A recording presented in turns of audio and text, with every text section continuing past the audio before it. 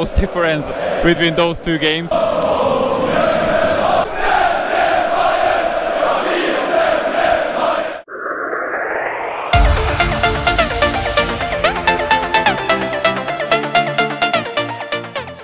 Hej, varmt välkomna till HFV. I denna videon ska vi vara på plats på den allsvenska premiären i Göteborg 2024. Welcome back to HFV. Allsvenskan is finally here, so the expected is coming of course, the premiere day of IFK Göteborg. The club I visited, the first in this country, the experience that opened up so many possibilities and here we are two years and a half later, a channel focused entirely on svensk football. The premiere hell, premiere weekend in Sweden is a huge celebration, just like I mentioned in yesterday's video, Hammarby against Kalmar. Experienced it two years ago ago last year had to be skipped unfortunately, but this time here we are again ready to rock the streets of the second largest city in Sweden. The premier game itself is an absolute banger. IFK Göteborg against Djurgården IF, Gothenburg against Stockholm, always a prestige game. It couldn't be better for the channel either because this is exactly the game which started this whole journey back in 2021. Now you have dedicated playlists to both these teams. Let me recommend them links in description. Known as Blåvitt, the two times UEFA Cup winners are the team I support in Sweden as a private person,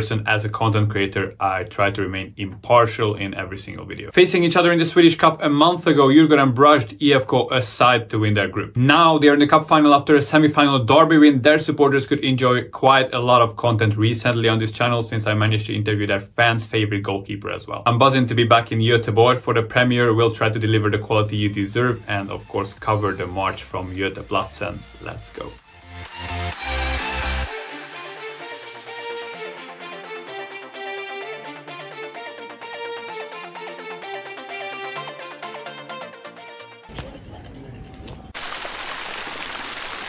Götaplatsen, 1st of April, the premiere day 2024 of IFK Göteborg. Here I am with Smot Oblot, which is a podcast which was founded this year, if I'm correct. Tell the viewers, guys, what's the idea behind the, the podcast? So we were playing one night and we came kind of just came up with the idea that uh, it would be fun to start a new podcast and that's kind of, you know, the whole history behind it. What are the, the long-term goals with the, with the podcast? We just do it for fun, you know. Uh, and it's just fun for us as well uh, to just talk about Blåvitt as we love. Yeah, get closer to the club is also very fun for us. We all supported Blåvitt for a kind of long time, so we think it's fun uh, being around the club as much as we can. We do it for fun and uh, hope that it goes as good as possible. You guys asked me the same question, so I'll drop it back now. How do you think the season will go? I think there will be a lot of improvements this season. I think maybe ninth place, as I predicted in our uh, tipping. We've gotten in some really good players. I think Malick is going to be very important this year. Yeah, key player. How do you think the, the game is going to go today? Oh, I think maybe 1-0 to Blåvitt. Not a high scoring game. Who's your favorite player and why? I'd probably say, so far, probably Malick. I think uh, for his age, he's a very kind of complete player. He, he really wants to win the ball and he's not been here for so long and I think um, for the time that he's been here, he shows passion. He shows that he really wants to play for the club and so that I think that makes him uh, my favorite player. Guys, thank you so much and best of luck with the podcast in the future. We'll see quite some uh, madness I think in about an hour here. We'll see each other soon. Link in description for their uh, podcast obviously. away supporters, Djurgården supporters here in uh, Göteborg. Guys, the last three games here weren't the best for Djurgården, but at home you always won uh, comfortably and you have a really strong team now. You're in the cup final and According to me, you're one of the title contenders. Is it different this year than last year? Can you do even stronger? Yeah, of course we can do. Uh, we can be better always. I think uh, last year we uh, it was the, all the teams were great, but uh, I think today we got a good team, so we can uh, we can uh, be in the top, of course. Who do you think can be decisive in today's away game against the IFK Göteborg? We have many great players this year like the player we signed from uh, Ferencvaros. Tokmac, yeah. Yeah, yeah, yeah. He's good. I think he can uh, he can show us with something. I say 2-0 Djurgården. 2-1 to Djurgården and uh, my new favorite player is Tobias Gulliksen. Yeah, and uh, Magnus Eriksson.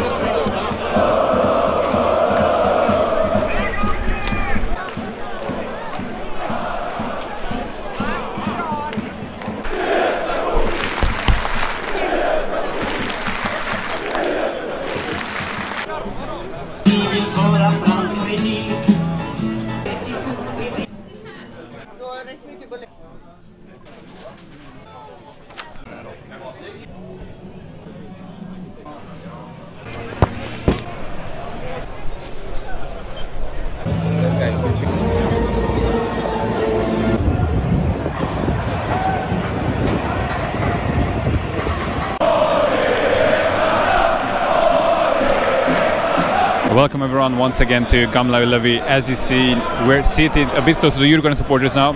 It's the third game on the channel, IFK Göteborg Djurgården, in this stadium. And once I was in the middle, once I was really close to the home supporter section. Now uh, it came by the ticket sale that I could I could get one here, which is uh, closer to, to to the away section. So it's balanced in that sense. There'll be a whole stadium tifo. I can't wait for it. Obviously the away tifo as well. We're gonna have really good view on that. Uh, so nice to be here. The marsh is great as well. Let's go.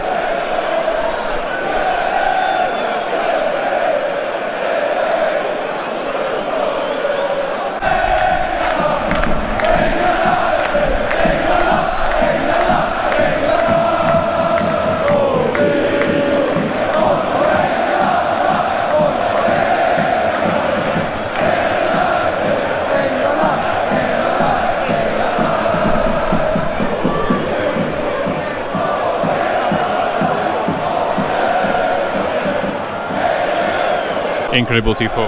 As uh, goosebumps already. And now starting at Poseidon starts. Joel Alme is here in person. He's ready for it. Everyone's ready for it in uh, Gamla Ullevi. Look at that. Even young fellows have their own part of the tifo. That's amazing. That's amazing.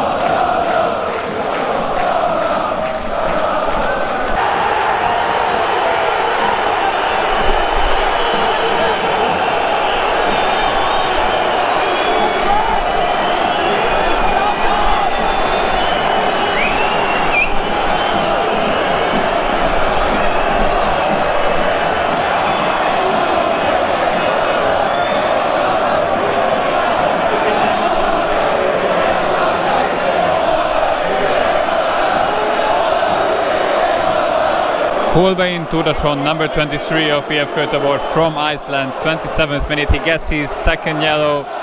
He's uh, that sort of aggressive midfielder, and it has uh, it has cost the whole team now. He already caused an injury to Rasmus Schüller, who, uh, who had to go off, and God knows how long he'll be out. But now another tackle, not as severe as, as the previous one for the Djurgården player. But uh, red card for Turason. It's, it's really, really silly what he did. EF Göteborg were, uh, even though being the weaker team on paper, they were in the game pretty well, but now this red card can just flip the whole thing to the other side and uh, you'll have to defend different, have to attack differently as well. So you're going to support are now totally living the, the experience because this gives them 90% chance of, of uh, winning the game now.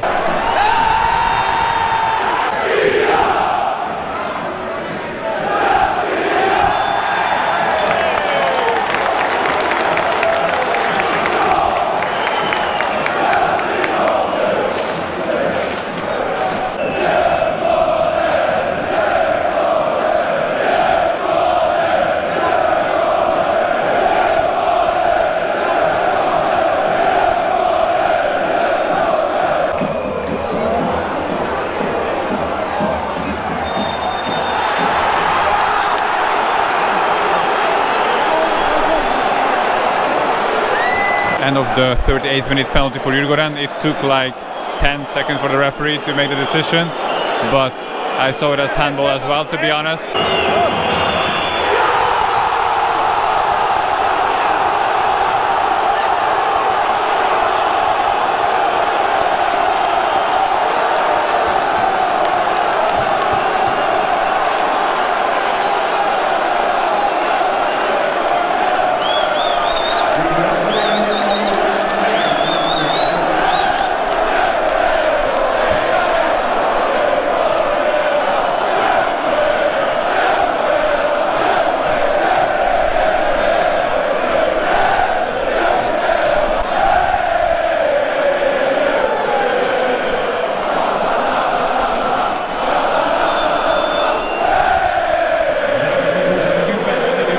Typical EF Göteborg first half.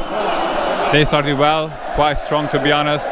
Then the red card and the penalty. It was converted confidently by uh, the captain of Djurgården, Danielson, central defender. He's was in the middle. Keeper went left. 1-0 Djurgården, 39th minute.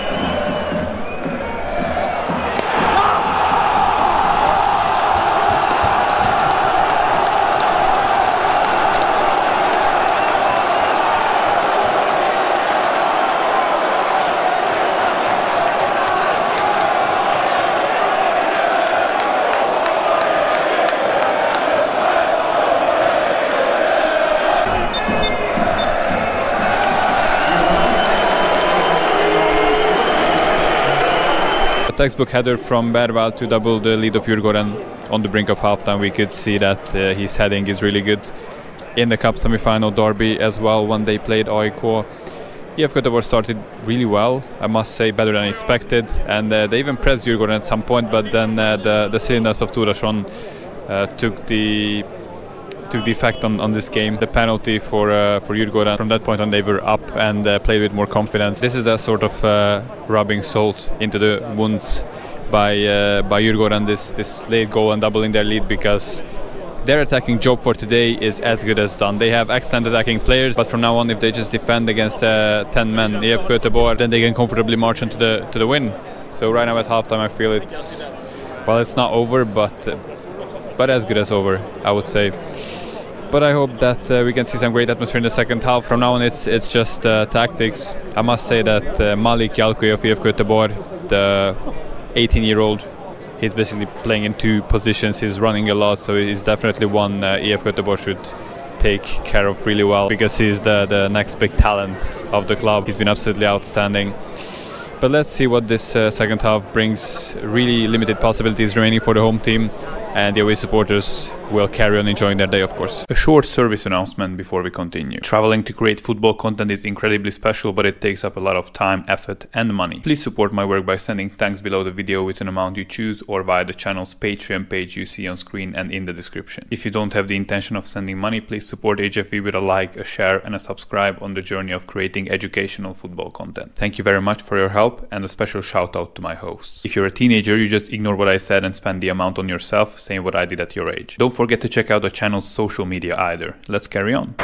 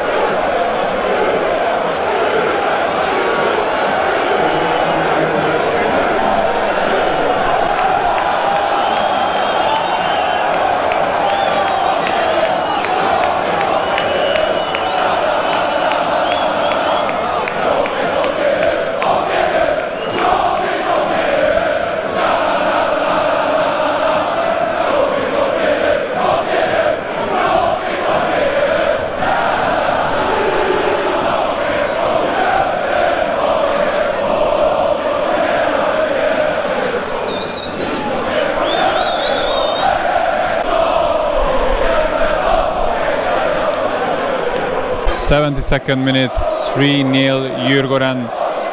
They they enjoy it to to the fullest now. It was a it was a pretty random situation after the corner, but it uh, ended up with a clear shooting chance, which I managed to record only the last part of. And now that the banter is going on 100% from the Djurgården supporters.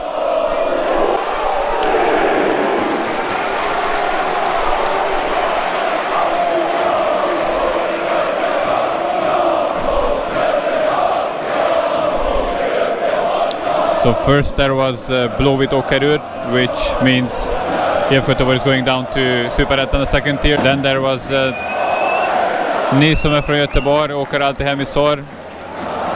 You who are from Gothenburg, you always go uh, home with sorrow or sadness. And then the last one was Glad Påsk Göteborg, which means Happy Easter.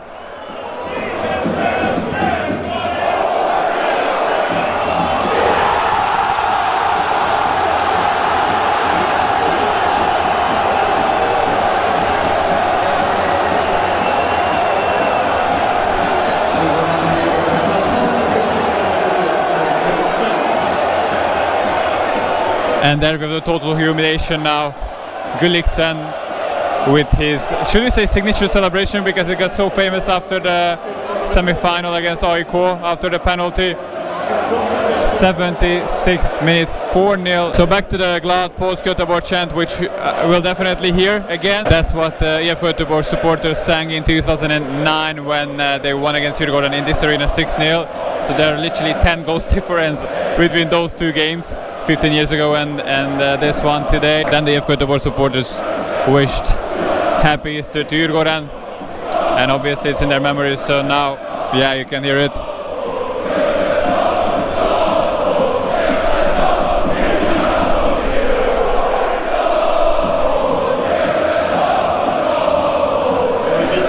Pretty easy finish for Gulliksen from close in, one of the biggest talents of Djurgården, probably second biggest after Bergvall.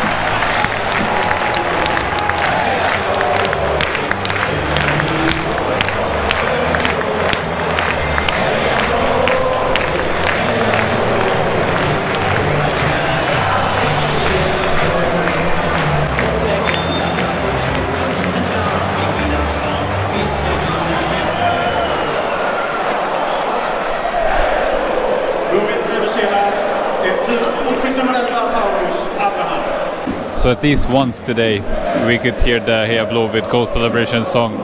Paulos Abraham after the shot which came out of uh, Zetterström. Two new players, sort of, because Yalcouyé was here in the squad before. But Abraham as a new signing scores for uh, Blåvitt in his first Allsvenskan game and at least something to take home for the home supporters. 84th minute, 1-4.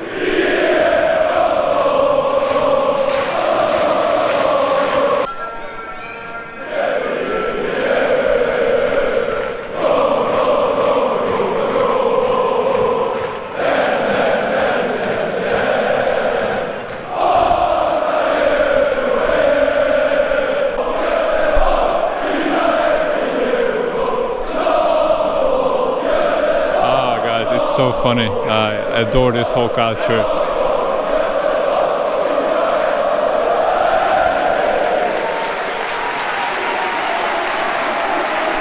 Even though, you know, who I support, it's not the most pleasant right now, but uh, from content creator perspective, it's uh, it's amazing as always.